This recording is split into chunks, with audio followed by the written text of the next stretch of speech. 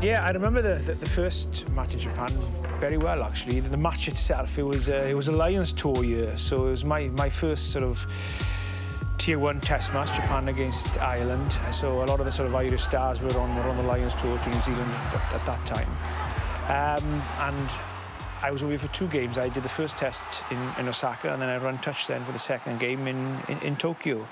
I, I don't remember much about Japan. The only thing that stood out to me and I remembered well was how welcoming him, everybody was. The people were, were, were lovely um, and they would go out of their way to, to help you or to accommodate you.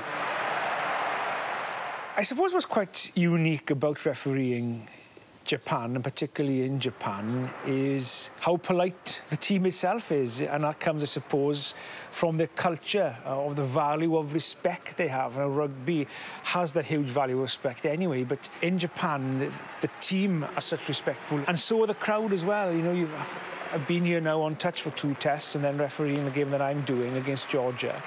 But I've yet to hear the crowd boo the referee at all. And I wish we could say that about every game we referee. You're away for a block of two or three weeks like this, you tend to be with the same ARs and, and TMO for that for that block really.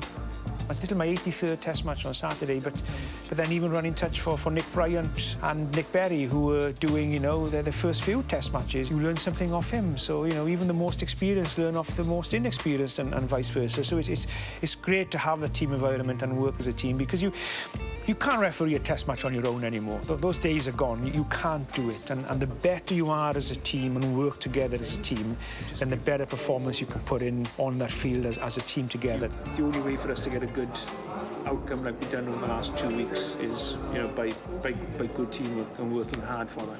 I'm excited about refing Japan, Georgia tomorrow, really looking forward to, to it. Haven't done this fixture before, Japan, Georgia.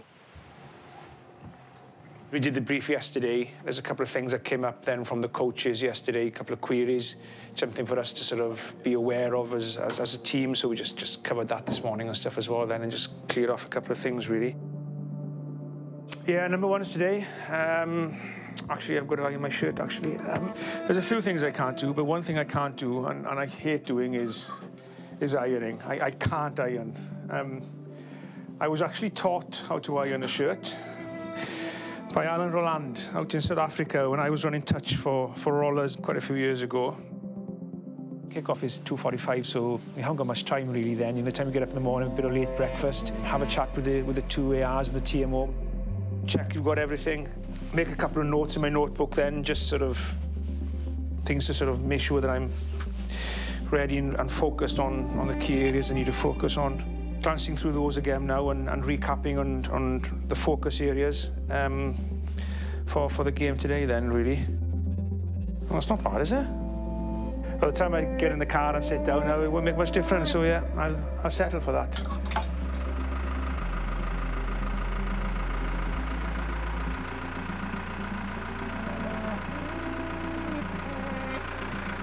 We got picked up at 12.45.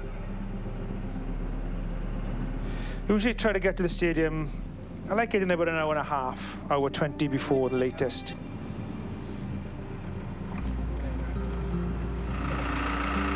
Put the music on, ask the, the test judges and the TMO what, what, what their favourite song is, and I add that and then onto the playlist then. A little of the music in the changing rooms then to help uh, relax and, and get ready for the game have a little wander out in the field and then usually about an hour before. You do the boots of the players um, speak to the front rows. You're there then if the coaches or players want to ask you any questions or something and then start doing your stretching then and uh, start warming up and stuff then. And so it's um, quite a lot of doing in, in, in a day and getting prepared really like you know I'm still excited. I still love refereeing. And yeah, if I'm selected to go to the World Cup, I will go there and do what I always do in a referee, a test match or any matches, is to go there and, and do my best. And uh, it will be pretty special out here, I reckon.